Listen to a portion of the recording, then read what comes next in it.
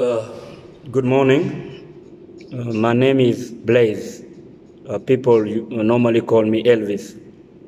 And I have a very long surname. My surname is Moukoko. The reason why I'm doing this video is for those that have problems or difficulties of getting a US uh, B1, B2 visa. The reason why I can only talk about B1, B2 visa because I once have been granted a visa B1, B2. So that is the best as I can do. Now it's the first time that I'm recording a video. Uh, what do you need first uh, for the US uh, consulate officer to grant you a visa? There is a lot of things that goes uh, in place in order for you to have a visa. Uh, the visa officer only need a proof that you are coming back to South Africa or, or are coming back in the country where you applied for that B1, B2 visa. So if you do not have enough evidence, guarantee, I'm giving you a guarantee that they won't give you a visa.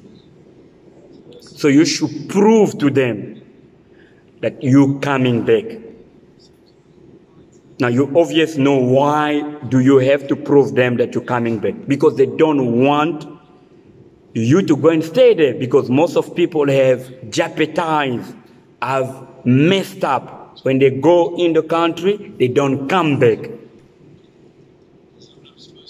So that's the main reason. If you have enough evidence that will you can prove to the officer, the U.S. officer visa, that you're coming back in terms of your agreement in B1 and B2, they will grant you a visa. Not that I'm saying that it was easy for me to get a U.S. visa. Uh, once, the first time I have been, uh, they, I have been denied a B1, B2 visa in an interval of one month. So I first went in, I think it was March, if I'm not mistaken. And I wasn't ready, I wasn't prepared because it's my first time that I'm going to a US and uh, first time to go to a US consulate and I was nervous. Even though I read instructions on how uh, to behave, on uh, what to bring in, trust me, ask me what did I need, I did not bring.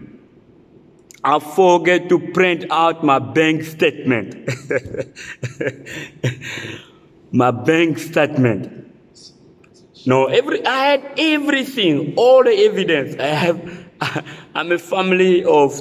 I'm a father of of of three children, and I've been in this country. I'm not a citizen. I've been in this country oh, almost more than 14 or 15 years. So I don't owe a house. I rent, but it's your house. As long you rent, the house is on your name. You have a permanent job. They don't need to see what you have in your bank account. Money is not the issue. You might have a million in your bank account. They're still going to deny you a visa. I didn't have enough fund in my account when I went to apply for visa. I had, but not enough. So they don't want to see uh, how much you have in your bank account. They just want to see how you use. Are you a person that they can trust? How you do your transactions? Are your credit are stable? You don't owe anybody. You're not blacklisted. Those are type of people. They will grant you a visa. Let me share you my first experience. Uh, since I was a child, um, I, I had a dream.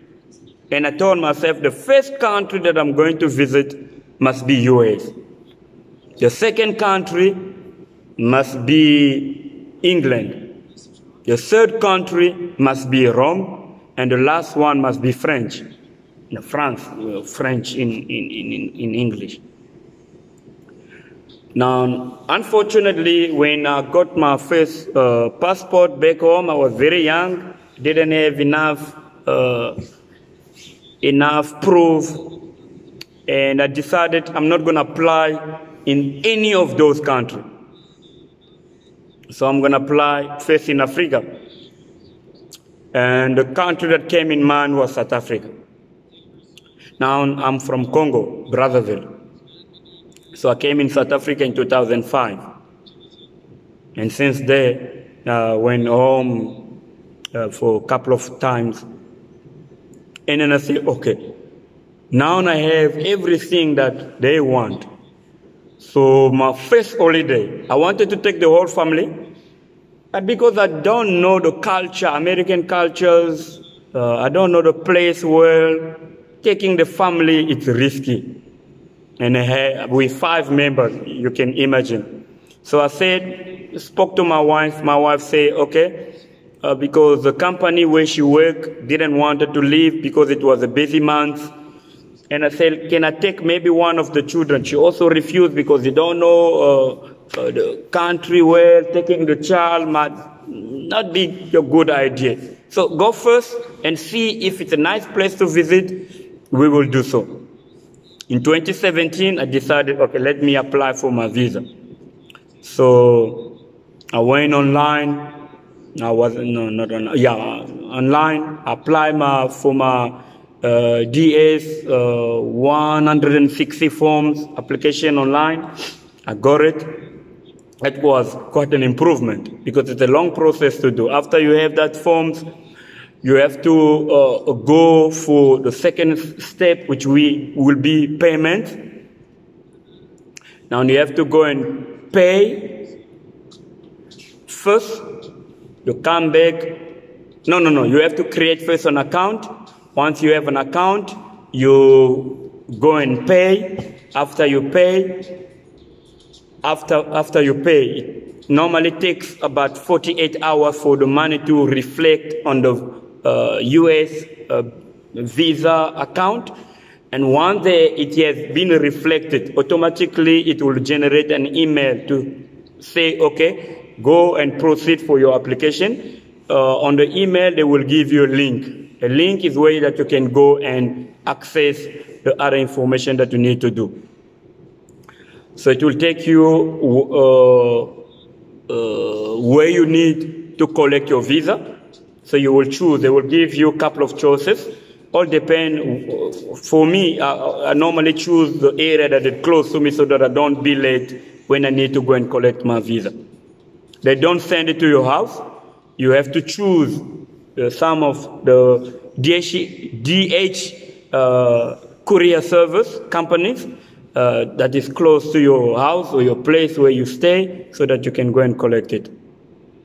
And the last part will be uh, making an appointment, a reservation. You must go also online and you choose your date that is suitable to your, your, your schedule. And after you have done it, you you go you will you will get a, a, a email saying that you successfully have scheduled an interview. Uh, they will give you a letter. Uh, uh, let me just find out what type of letter that you will get. I don't want to show you my stuff, but you will get like a confirmation that's showing showing that yes, successfully uh, it says successfully payment received and then you have an appointment. As you see uh, at the bottom there. Don't know if you can read it. And and you prepare. So this is now very important stage. What do you need to do in order for them to give you a visa? The grooming is very very important.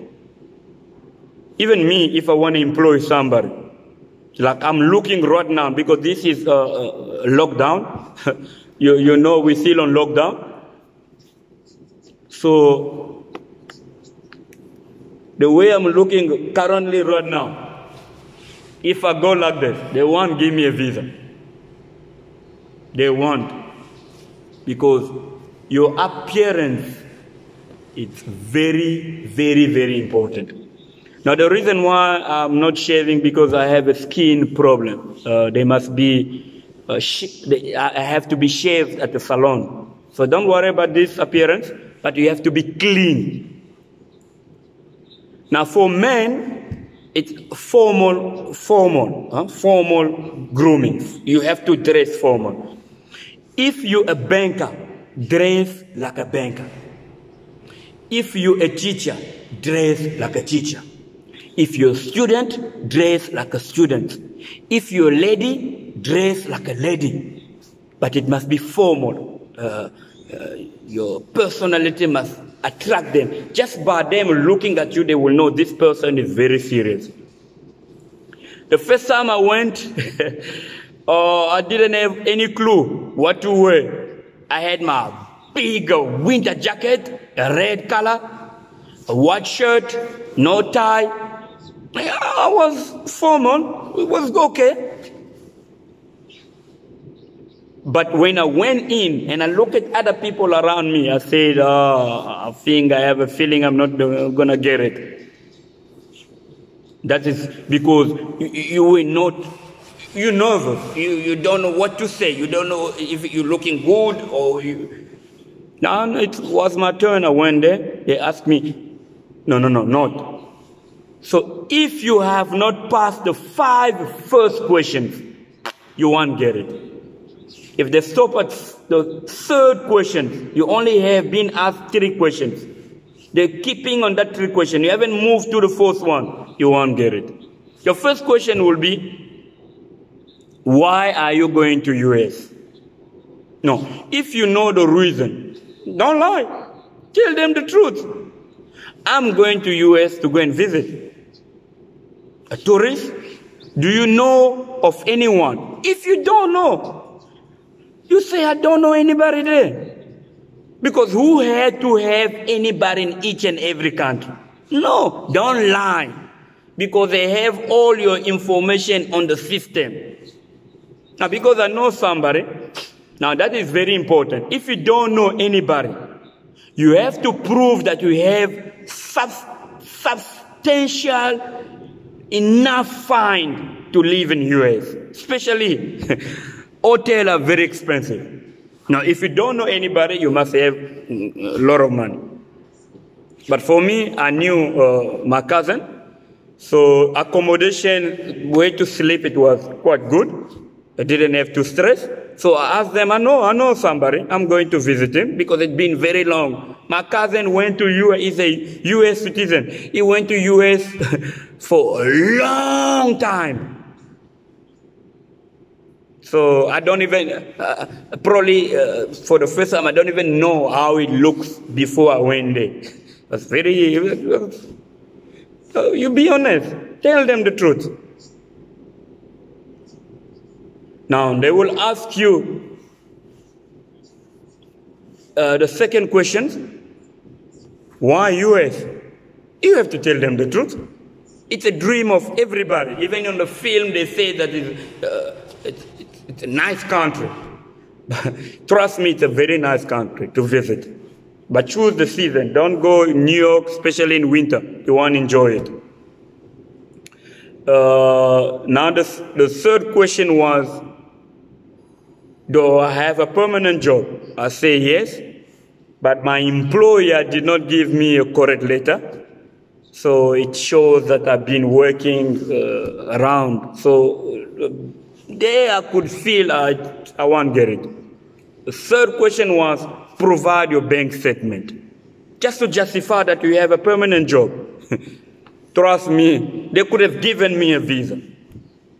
And I say I don't have a bank statement.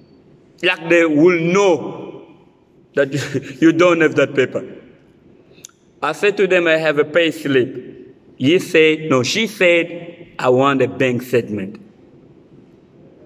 Now, there is no ATM there uh, at the, the consulate. The ATM is quite a kilometer from that small mall.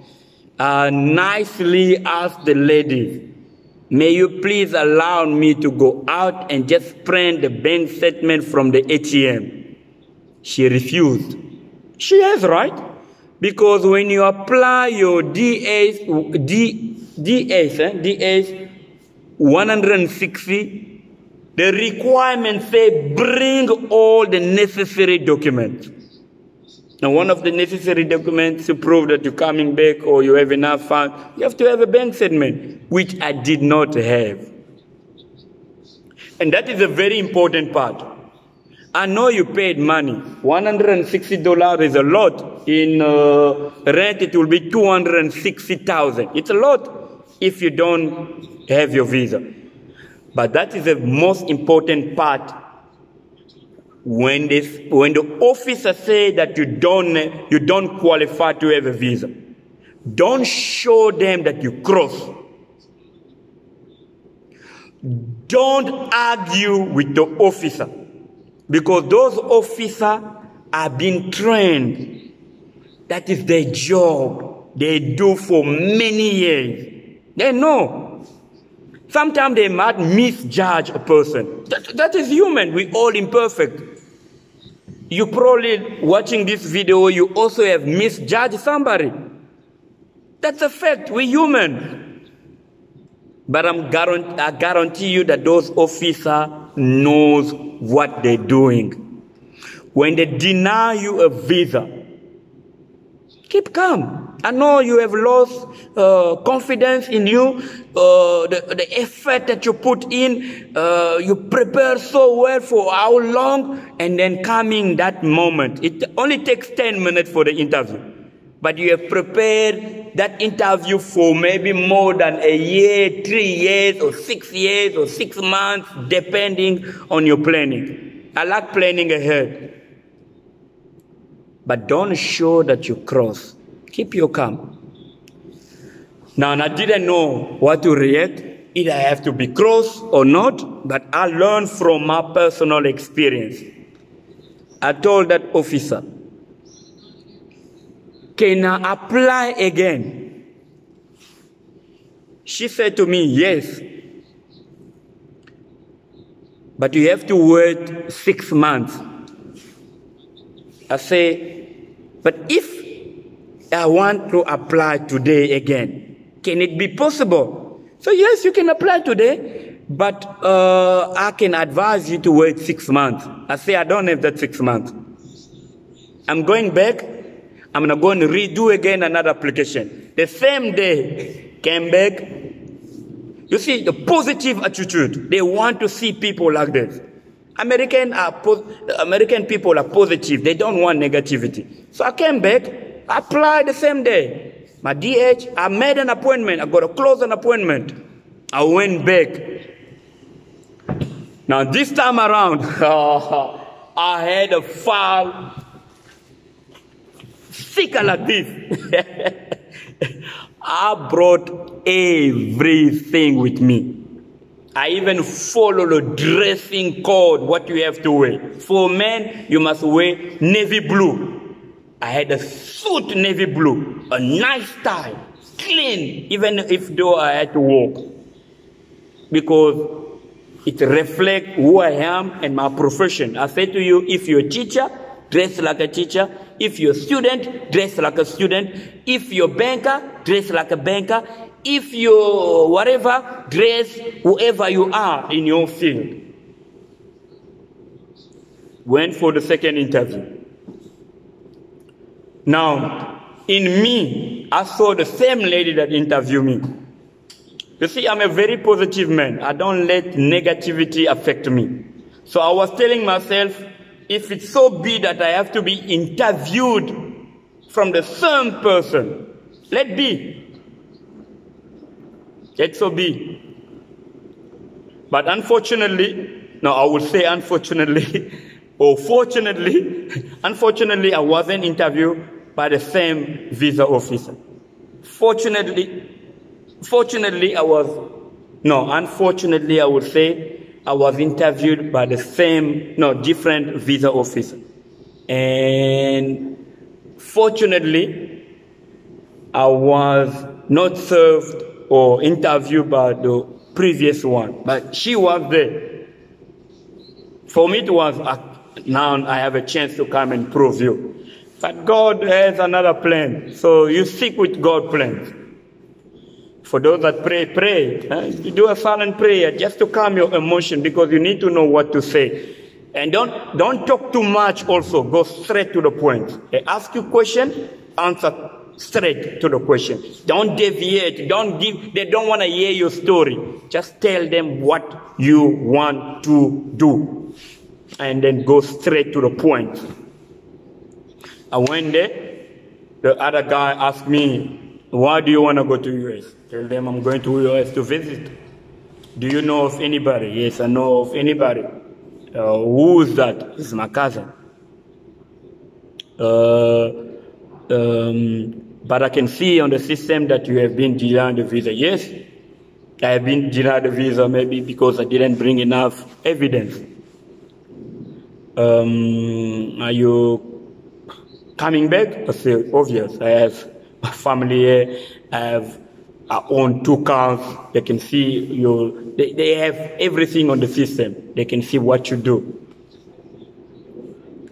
You can't lie to them. So I tell them, I told them exactly what they wanted to hear, my story. And we move from question one, question two, question three. In my, my experience, I know once I pass question three, I will get it.